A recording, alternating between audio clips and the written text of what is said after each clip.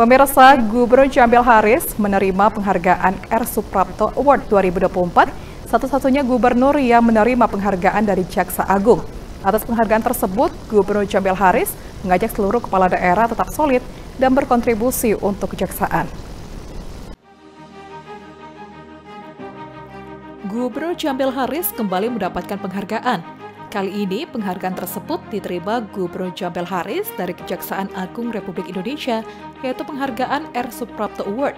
Sebagai role model kepala daerah yang berperan aktif dan sinergis, serta berkontribusi dalam peningkatan sarana pendukung pelaksanaan tugas dan fungsi Kejaksaan Republik Indonesia.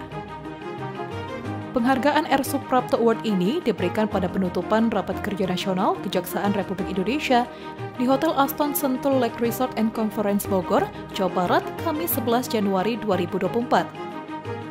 R. Suprapto Award ini diserahkan langsung oleh Jaksa Agung RI, ST Burhanuddin, kepada Gubernur Al-Haris.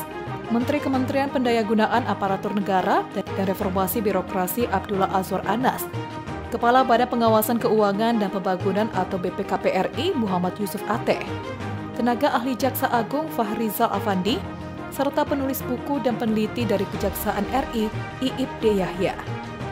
Usai menerima penghargaan, Gubernur Aharis yang sekaligus juga sebagai Ketua Asosiasi Pemerintah Provinsi Seluruh Indonesia atau APPSI mengatakan, penghargaan ini akan membuat seluruh kepala daerah bersemangat dan bertanggung jawab dalam melaksanakan tugas di daerah.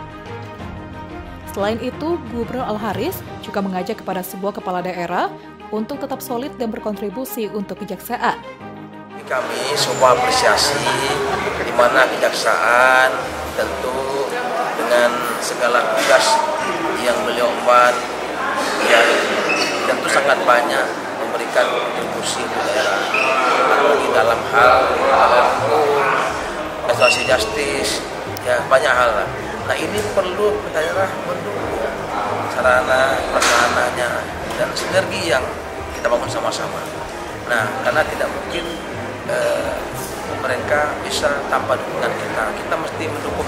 Meskipun mereka punya anggaran, tapi apa salahnya pemerintah daerah juga ingin agar mereka lebih punya kekuatan dalam bekerja. Ya, contohnya kita membangun diklat misalnya, SDM kejaksaan ke depan akan baik